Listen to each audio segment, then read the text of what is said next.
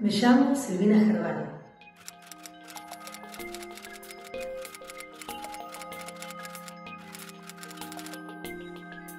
Trabajo en el Hospital Regional de Río Gallegos desde el año 2009 en el servicio de patología de consumo. Estoy dentro de planta permanente con modalidad full time.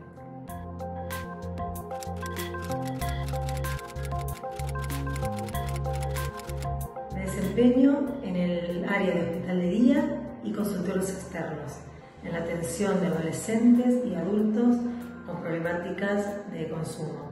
Tomemos conciencia, los hospitales necesitan un psicoterapeuta.